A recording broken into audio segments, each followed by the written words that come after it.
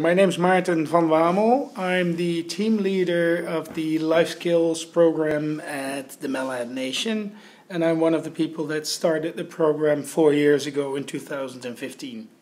14, excuse me. I'm Paula Schwartz, and I'm the Director of Health and Social Programs at Malahat Nation, and I work with Martin in uh, helping manage and support him in his Life Skills program. I think we'll start off by uh, maybe if we could just uh, talk a little bit about what is the Life Skills program. You know, like what is it? What does it do? Who can participate in that program? And maybe what the aim of the program is. The aim of the program, when we started the program, is we were asked by the former Chief and Council of Malahat Nation to create a program that would support members of the nation to live the life they wanted to live, literally, and with the question to help people define where they wanted to go to and walk with people and help them get where they were wanted to be, which meant no pushing, no pulling, walk with people and help people navigate to the direct into the direction they wanted to go to. Um, with back then the instruction that people were not were free to go where they wanted to go as long as there was movement. We've been doing that the program since 2014. We started out with five themes. One of them was know where you have come from, know where you are, know where you are going, making your mind strong, kwam kwam squalawan in Halkameetnam, and know who's standing with you to create that program. And we, we started out with the help of uh, an elder from Cowichan Tribes, uh, Bill White and that's how we started the program. Anything I need to add there, Paula, you think? Yeah, well, the, the, one of the things I think that has really worked at Malahat and, and with Martin and the participants at the nation is that um, relationships um, were built very, very solidly with Martin and, and the team. And one of the things that I think is really special about this program to typical life skills programs is that it was very, very individualized on what a person uh, wanted for a goal, and uh, either employment or to go to school or even uh, to improve their personal lives. And the program evolves around what the participant needs are, not a curriculum. Um, and so, although the tenets of the program and the goals of the program are very are the same, everybody's individual needs are able to be met. So, uh, in the program, for some people, it would be that determining if they want to go back for education, for employment. For other people, it would be that they wanted to um, be able to go to employment right away. And for other people, uh, it was very acceptable if you just wanted to be um, a better parent or uh, to volunteer. And I think that the basis of the program very much is is on the needs of what an individual wants and not what you know, the nation wants or what a goal of of the um, uh, the goal of you know that people need to be trained in this or that, and it's a real strength of the program, and it's what's made our program very very successful and we're aiming for when it comes to uh, what groups is is it um, what's the audience the target audience? It is residents of the Malahat Nation. We used to say members but it changed into residents of the nation. So everybody living on nation on the reserve um, for 19 and up because we never ever want this to cannibalize on school going youth. Although we've had young people in that weren't doing anything and we said we'd rather have them in life skills uh, doing their driver's license or getting their license um, than for them to not do anything. So sometimes parents actually requested for us to take their kids into life, the life skills program because they wanted their kids to do something and not sit at home because they did not want to go to school. Because each individual that's a part of this program is on their own journey and has their own goals in mind what is what is this program's role in that is it helping helping the individuals find the resources and get signed up, or how does that work? In general, we have a five day program. Monday is all about, we call it personal planning. So that's what's, what's focused on where do you want to go? And the first question when we ask people, where do you want to go? The first question, uh, answer is almost always, I don't know. And, and maybe the first few times it's always yet, getting yet behind that and work towards what is it and getting people to think further ahead and make a life planning. Second day always has a either a news or cultural background what's in the news, what's going on. So we call it, I like to call it critical thinking and culture. What's going on? What do we see? Where do we see um, a solution in the past that actually are applicable to current day uh, challenges? But also nations in the news. So looking at the news, the newspapers, what's in the news, what's going on outside the reserve to make people critical thinkers, but also look back and look at uh, traditional solutions.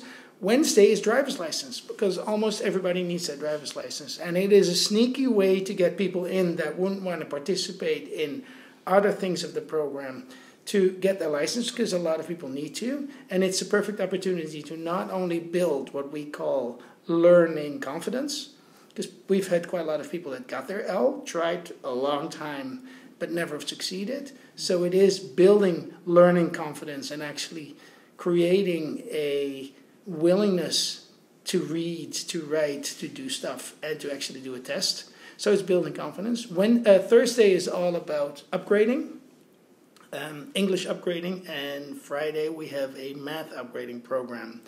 So we do have a kind of a base in the program, but in that program we're constantly adjusting. And one, I think, one of the, I think, Paula, that's one of the strengths of the program is that since people make a plan and we communicate it in social programs, everybody kind of knows. So Paula and I work together, but people present their personal plan to Paula and to Shauna, our manager of social programs. So we constantly are aware of where people want to go, and people know we know. So we're, we have a wraparound support system around people um, to um, to get them to move. That's actually, and that's what a lot of people say. I always thought I was going to stick here forever, and never there was never any moment. And people said, "You you guys kind of made me move." And as soon as people start moving, it's really hard to stop. We've seen people getting their license and it said, "Okay, now I can do this." So I can't have the excuse of I'm stupid because I'm not because I found out I can. And then we're trying to uh, have people surf that wave of success. So that's what we try. To, we call we like to call learning confidence. Yeah, one of the things that's that, that's quite big is that um, individuals uh, complete their own personal plans with Martin, and they can look very very different for each yes. person. And it sometimes takes, um, you know, it can take a month, it can take two months for someone to actually put together a solid personal plan for themselves. And that personal plan can be either educational goals, personal goals, employment goals, and that's how it's how the program focuses on the individual needs is that the program their their plan is their own. What a big thing for people is coming in to present their plans to me. They've never they've never needed to necessarily uh, articulate what mm-hmm. they want in life, their goals, and the steps necessary and the supports they need to be able to um, achieve their goals. And to present as well, uh, although I, I make it very, very comfortable and relaxed, yep. it's people get very nervous about that. Mm-hmm. But it's intentional um, that when people can articulate their plan and their goals and the steps that they need to do uh, with someone other than the instructor, it also makes it real. And it also has an accountability piece for them, but it also increases their support structure. Because not only now do they have the do they have Martin um, who's working with them on their plan, they have social programs where if we have resources to support them, and it also gives um, our department the ability, just seeing people going, how are you working on this? What can you do? How can we help you? And so that wraparound service so that there's more than just the instructors. there's actually a team of support around the people who are checking up on them. If they if they're doing really well, we celebrate with them. If they're if they've fallen off a little bit, you have three or four people who are encouraging them to get back up. Um, and also, it's very empowering when um, an individual comes and presents their goals, their plans um, to me after they get over the initial the initial nervousness, because almost everybody is. Um, um, it's very, very empowering for them, and it makes it that much more real for them and that much more attainable. The other thing too that I think that that I just want to add about the flexibility of the program is someone doesn't have to come five days a week. No. We do have single mothers who have children at home. We do have people who maybe cannot commit to five days a week, but maybe what they can do is they might start in upgrading English because they're comfortable there. And they may come to that, you know, Thursday morning for a month and then decide, gee, you know, I might now venture into doing my driver's license. And then they come two days a week. Um, or, and then, well, gee, this is kind of neat. Maybe I'm also going to come on another day. So the flexibility of the program meets the person where they're comfortable and where their need is. And as people gain learning confidence, what happens is that they branch out to then try other parts of yeah. the program. And we allow for that. And it's so interesting, Paula, that you mentioned sometimes people feel a fall off the bandwagon for a week or two. And it's interesting, we've had people, and I would, because it's a small reserve, so it's awesome. Part of my work is just driving around too. I should actually get my kilometers uh, now. So driving around like in a small little town, you stop and you chat and what's up, and I haven't seen you for a while. And then people are embarrassed. Oh yeah, I let you down. And interestingly enough, since I know we know their plan, so you never let me down. I'm just there, and and it's it's awesome to see people focus on their plan and not feel embarrassed to other people or because we're not pushing people to and embarrass them to say you know what you let yourself down or whatever because usually there's a lot of negative self-talk already. But when we say you know what i know your plan i'm there and people walk back in and say okay here i am and and and they're just on their journey. And we're trying to make people feel like they didn't fall off. You know what they their their journey slowed down. And we've seen a lot of people come back and take steps again with the program here and uh, the individuals, how would you say that you could maybe sort of evaluate that there's success in the program? And, and along with that, maybe um, if you could elaborate on some of the challenges that you've um, come across over the years. One of the awesome things of creating a personal plan with a long term vision a strength, a short strength anal- analysis, say these are my strengths that I bring, even cultural teachings that people bring to the table that will help them, and setting uh, short term or long term goals, personal long term goals, short term goals, and just checking off them. Sometimes we just have a small little checklist. When people um, when people start with that, they feel horrible because it feels like school, and we said this is not for me. This is for yourself to see that you're actually climbing the stairs instead of feeling that you never got anywhere. We've had people who said, "Oh, I'm not there yet," and then we look back and they were started signing off on their own achievements and said, "I'm actually already halfway, but I forgot because I'm not there yet." And one of and and it helps. So a lot of the things are: are they actually moving? Are they um, are they um, um, oh come on, are they uh, achieving their goals, the, the set goals? It helps us to keep it, keep keep some check on where people are going, um, and um, and people themselves too. Um, sorry, I lost my uh, chain of uh, train of thought there. You asked, so how do you measure that? Mm-hmm. So movement, seeing movement, and and literally helping people see their own movement because what we see a lot is that people when they haven't achieved their end goal it's really challenging for a lot of people to acknowledge their own steps the small steps their movement and seeing it and looking back and say hey i climbed higher already than i ever thought um, and um, and that's part of that. That's how we measure. Um, we've seen people achieve, especially in the um, uh, the driver's license. People got their L. Literally, people that said I that thought they would never ever get it because they had so much test anxiety, reading anxiety, everything. We've had people who said, um, um, "I've never read the book, the ICBC book."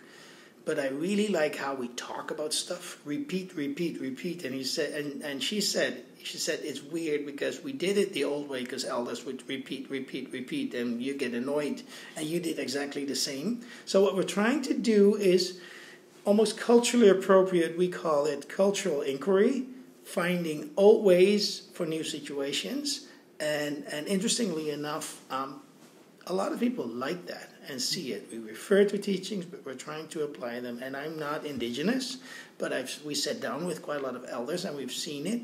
And we have elders in the in the background every now and then who say, I don't want to be in front, but I want to be there.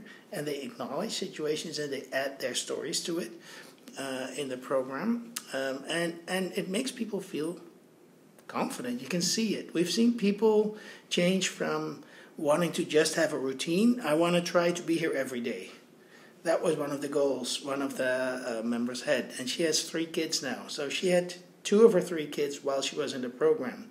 But she was back in the program a week after she had her kids. Because she said, I need to get back into routine. I know routine helps me. Sometimes she's only in for an hour and a half with a three hour program. But it's part of her plan to get that routine and get out. And um, yeah, that's. Is there anything else we, we were measuring? How do you think, how do we know people are successful, Paula? Except for yeah. reaching their own goals and taking the steps. Yeah, yeah, I, I agree because success will look different for, for every person. For some people, it will be how many people have gotten employed because their goal is they want to be employed. Some people will be they, that they want to, you know, be able to go back to uh, VIU an upgrading program or training program in a certain amount of time.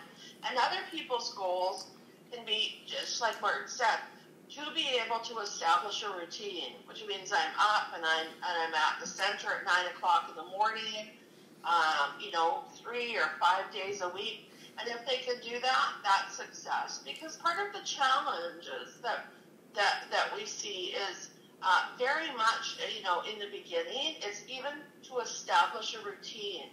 When you're up in the morning early, uh, you know, you're at the center at nine o'clock for that, that is a big goal for some people because for years perhaps they haven't had a routine where they've had to be somewhere in the morning. Yeah. It's also a routine that some, many of our many um, of our participants have young children, yes. and that's a challenge for them. And so, on occasion, when you come to our life skills program, sometimes you see all the children around too. It makes it it makes it even that much more challenging. But it's how how we can support members um, you know, even with small children, and they will come. So we do have, you know, people who challenging that that it's a huge success that if for a month someone can come every day to the program, and and that is a success for them because uh, that's a really difficult thing for for some of our members to be able to do. Um, so you know, people with single parent, and we have single parents or people who have young children, that can be challenging. The other thing that's very, very challenging is that um, many people are feel quite uncomfortable to actually go into any kind of learning environment yes. because um, their past history has not been positive and has in fact been very negative. So being able to have somebody who um, is anxious to come into the program, who is looking forward to coming in, and who starts to see that uh, moving forward, setting goals, learning new things is positive. Um, that's a very uh, huge success uh, for many people. It's just switching that brain, and a, a lot of people also um, have have very very um, little confidence yes. in their own abilities, and so for years and years and years, um, it was safer to actually not even to try than to try because they think they're going to fail. So many times, even a very huge success, and it may take somebody three months, six months to be able to actually gain some learning confidence that, you know what, I'm going to try this and I can be successful on it. And that is a huge step that we see as success that people are actually um, attempting to after years of negative self talk and saying that they can't uh, do anything or achieve anything. Um, to be going, you know what, I'm going to try to do this, and if I fail, it's okay because I can try again. Yes. Um, and we, we I, I always, can, can I add to that, that when people said, oh, I did and I failed, and one of the things we're trying, no, you tried and you're not there yet, you'll try again. And it's so interesting, people, or stupid, stupid little sentences, I can do this yet. And people hate us for it, or hate me for it, for saying it. But interestingly enough, eventually, it's people become master of their own thought process and they're starting to understand how how that works. And the one of the successes I've seen too is that people start to own up, own the program. Not so long ago, we made the big mistake to kind of change ours because somebody asked to, and we had quite a lot of backlash from people saying you can't just do that. And first response could be, yes, we can. And then, interestingly enough, it was so awesome because people were just outraged and said, "You cannot change our program. It's not your program."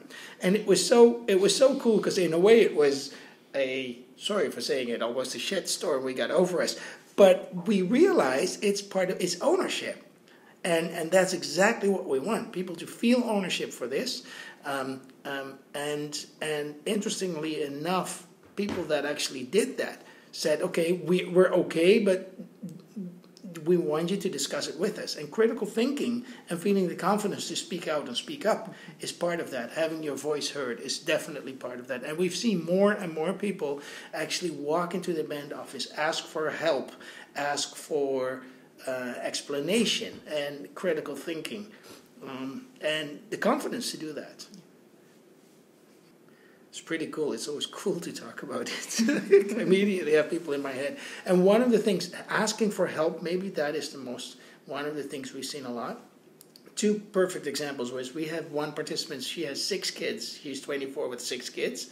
And her kids, and her kids go to school and they have an awesome track record, but her kids are starting to push her to school too. Her youngest come to the program too, and um, she went through a hard time a few months ago and her kids are starting to push her back say mom because she wants to be a role model and unfortunately when whenever she doesn't make it she's really tough on herself where her kids said mom did you go to school today and because she tells them to go and she wants to role model part of that i think is an important part of the program too we've seen a lot of especially moms who want to role model a learning attitude to their kids because they want them to go to school, but they're challenged. It's challenging for them to show. So for them, part of going to the program is showing the kids, you need to go because I go too.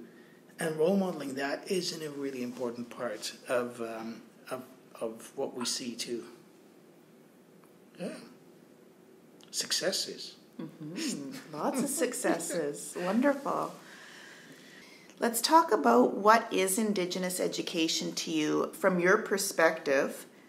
And maybe we could talk a little bit about um, the importance of the life skills training and the building of professional development for our Indigenous peoples uh, for the nation there.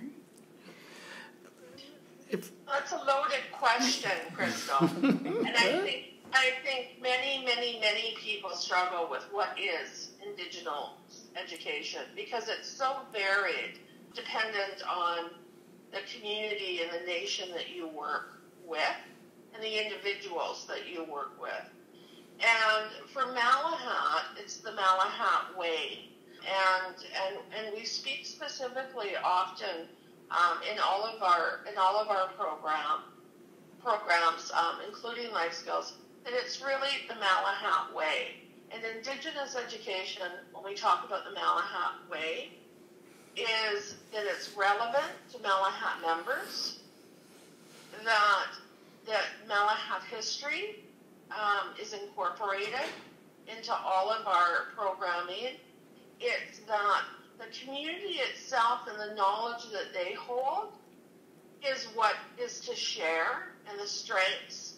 Um, of their culture. So one of the things that we try and do in, in, in our program, and specifically life skills, is that our participants are the teachers, and they share the stories, and they share um, the strengths of their culture that helps them in their learning and their ways of knowing. Um, we also, Martin does an excellent job on cultural inquiry. So many people will, you know, say, you know, okay, well, how do you do, you know, performance management or, or you know, um, task orientation, and that's an orientation towards, you know, um, the words that we use, you know, as professionals. And our and our participants go, we have no idea. And Martin will break it down and say, okay, what happened? What happens when you have to put together um, a feast? What happens when you need to organize the canoe journey? And people automatically then start talking about what you have to do, and we can translate that. That that really is performance management. That really is task management. And being able to understand that the gifts and the learning and the skills um, in um, our indigenous ways translate in just a different word. Um, and it helps people really understand that they have those skills already. Um, they've done this since time memorial. It's just the wording is different. Uh, but all of those, all of those tasks are the same. Um, we make sure that culture is um, in everything that we do. So, for example, when Martin's doing driver's license training, right? We are using tools um, and teaching methods based on historical and cultural context. Uh, it means doing, showing, practicing. People just people people don't just um, read books and do quizzes. Um, we um, bring in uh, for for all of our critical thinking models, for all of our personal planning. Um, it all ties back to cultural ways of knowing and historical context.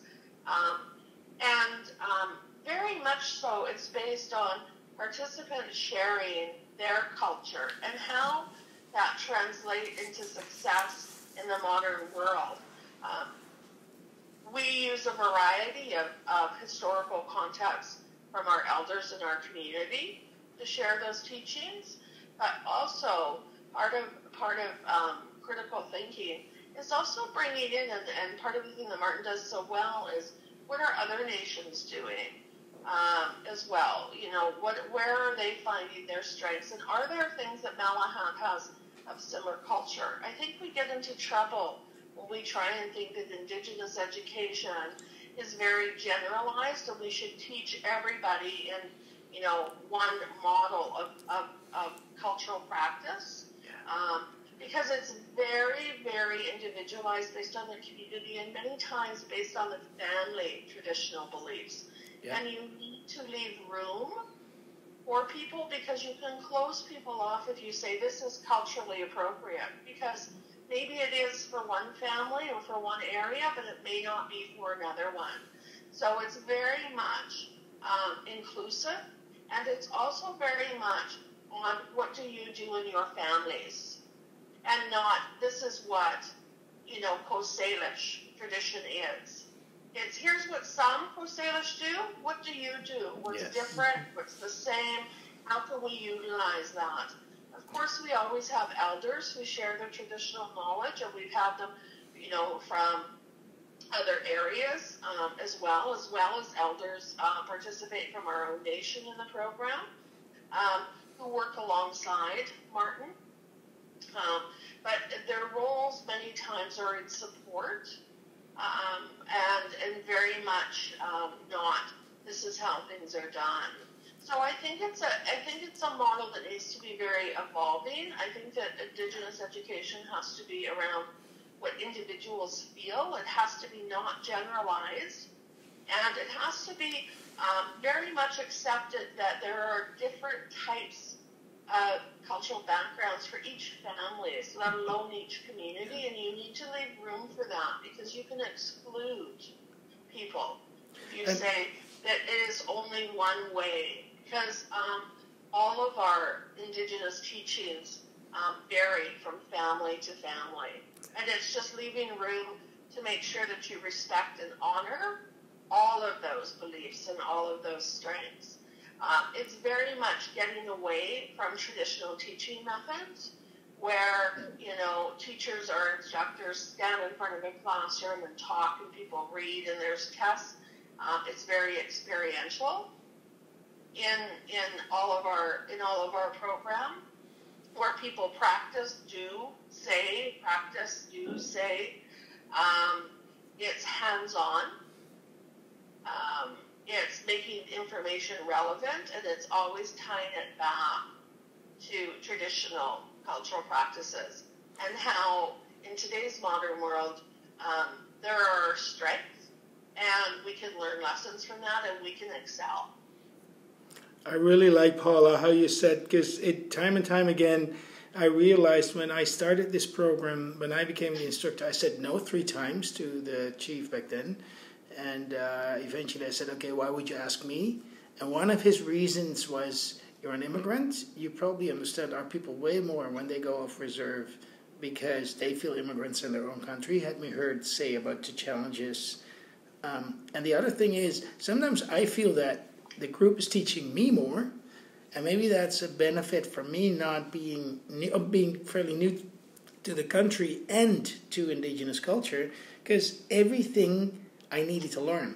So um, I part of it was just being very curious and inviting people to speak. What I've seen is that a lot of people didn't want to talk about culture, and what the interesting things we've seen in in the group was actually an elder telling people, yes, you can tell him about a big house. Yes, you can tell what happened. You cannot tell, sing your song. You may not want to share your names, maybe, but you can tell what a big house is. What and just saying it's sacred, he said, it's just insecurity. So part of what he and that was so awesome was was help. So when you talk about indigenous education, it, what he did was giving participants the confidence to actually teach me.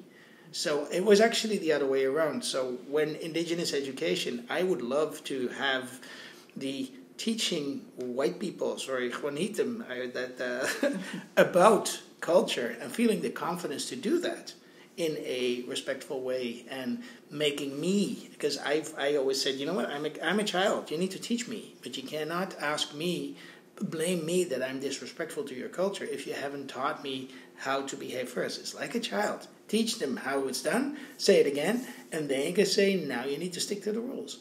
And interestingly enough, we see that now. I've been teased so many times. It was so much fun. I've been teased. Shauna and Paula have laughed at me, said, Really? Even after years, I would say something, and they said, Really? You still don't get it? And I and being open to that to me as an instructor is part of it. So I feel blessed by being totally ignorant um, uh, but I am curious. I am curious of nature. So, and people hate me for it every now and then, or when I push them just a little bit. One of our participants, Lisa, posted on Facebook and said, Marta van Wamel, I hate you for pushing me out of my comfort zone.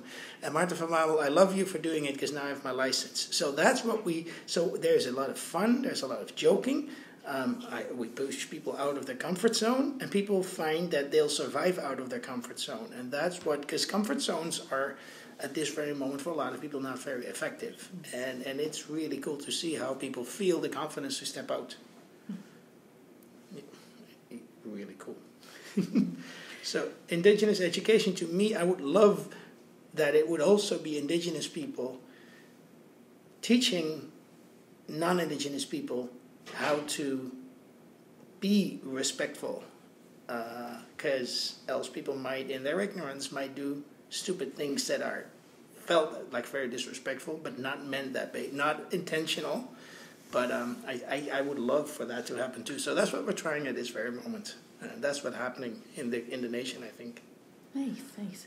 Well thank you thank you very much for sharing all those words. Um, that's wow.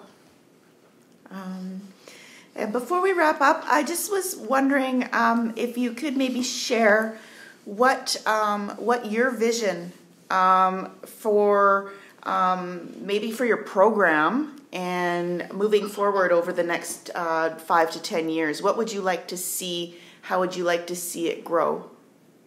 Or would you? My personal goal for the next five years is that is that Malahat Nation will need a life skills program. That our community will, and individuals in our community will uh, be successful. That um, after they graduate from school, that they will have a plan and that they will succeed and all of their adventure, you know, uh, goals, their their dreams for themselves, and have the confidence through all of our programs. I we would like to see that uh, we're going to expand to a leadership model, which is teaching leadership so that we can start working with our people on management, you know, so that they can be our future leaders. And our goal oftentimes at the nation is to work ourselves out of jobs. So ideally, I would like to see that every every nation member is to confident enough to be able to go after their goals, go after their dreams, have the support of the nation to do that, and lead very successful personal and career and uh, private life. So that's my goal. I, I agree to Paula to I want out, not because I'm driving three days a week. I'm driving 150k to go to Mill Bay, so my loyalty is with the nation. But I would love for people to feel the confidence to not need me anymore. I want to be their friend. I don't want to be their and supporter, and I will always. Uh, I always I will support, but I would love for people to um, be independent it's one of my as a as an instructor or a facilitator i always shy i one of my my my my main values is independence. That's part of what we're trying to do creating belonging ability and autonomy. And i do believe my dream is that people will be feel the confidence to be teaching whatever we're doing. And and maybe call us every now and then can you do the this and this part? And, and I would love to do that. But I, I would love for nation members to do 60% of it and then call me for a specific thing. We don't need you for the rest. We just need you for this part because that's what you're yeah. good at. And not because, whatever, as, as a leadership developer, because that's my background. And, and I would love that. And, and, and we're seeing that. People come and say, I need to have my uh, first aid upgraded. Before we did we did the program, we offered it, and people walked in, and then people found out, oh, mine wasn't actually was still was still good. Um, what I would love, what I like, is that people walk up to us now. Uh, one of our my participants not so long ago said, "I don't know enough about residential school. Our elders don't really want to talk about it because it's too painful. Can we go to Penelakut and visit the residential school?" And I said, "Isn't that too painful for you?" She said, "No, I wasn't there. I've seen a lot of hurt but I'm finding that I don't have enough information to teach my kids. So she's taking the initiative, and I don't know how to do it because that's pro- could be very traumatic. But three, four people say, "Yeah, I want to visit a residential school. I want to see, I want to feel, I want to know what it is." And it's so interesting because first I almost very paternalistic said, "Oh, that's very traumatic." She said, "That's not up to you to decide. I want to see what happened there. I want to learn about it." So interestingly enough, it's it's starting to shift. People are starting to feel that responsibility, the ownership, and telling me what they want, and that's my dream: uh, independence and getting pe- people reaching their goals. Because we set about ten year goals. People drive tell us we're crazy that we're setting ten year goals, but um, I would love for for people to just reach their goals. Wonderful, thank you. Um, Okay, well, was there any final uh, thoughts or or ideas that you'd want to share before we wrap up? Um, Paula, you mentioned uh, a, a, cultural inquiry. That's one of the things, if I can just mention one thing. While we were working in the beginning of the program, um, Bill White and I did something, and afterwards we were looking at each other and said, Whoa, that was a good session. and it was all about. Paula mentioned something about um, uh, uh, project management, and people. You could see people kind of fade out. Words. Oh, that's Nathan words. We don't want to hear about it, and they kind of, and and we had a session. That session where Bill asked me to explain what, in your opinion, is project management, and I explained in in a, almost a definition, and then he translated in how do you think our people from Cowichan would go to the Fraser River, go fishing, and do you think they just threw everything in their canoes and started pedaling? No, they prepared for it for half a year. And we would look at who would be the project managers. And people say, oh, the elders. And they said, no, no, no. He said, no, no, those were the time managers. They said when it was time to go. But the chiefs were the project management, and the family heads were the problem. They made sure that the nets were ready. They made sure that the dipping nets were ready. They made sure that the canoes were ready, and and so we translated project, and it was so cool because two months later we had one participant who started talking about, oh yeah, it's project management and planning, and and she used the wording that she didn't want to use before because they felt that they were not hers. She owned them and she immediately she not only understand understood exactly what it was, but she used her them in her daily um, work. And interestingly enough, that is what we're trying. We and Bill and I looked back and said, "What the heck happened?" It worked, and we called it because it looked like appreciative inquiry. We called it a cultural inquiry, looking back at your own culture and practices and finding solutions to daily to current day challenges and and it that worked really really well. So that's what we're trying to do constantly. So that's the, the and we kind of called it cultural inquiry. That's why uh, Paula used it, and uh, yes, that was uh, that was a good one. Anything else, Paula, that you wanted to add? Um, we're just grateful for the opportunity. Yes. Uh, to talk about our program because I think that life skills doesn't do title life skills doesn't do it justice. But everybody likes the title life skills. Uh, it's about it's about empowerment. It's about independence, autonomy, belonging. Yes, and personal leadership. Yes. And personal leadership. Yeah.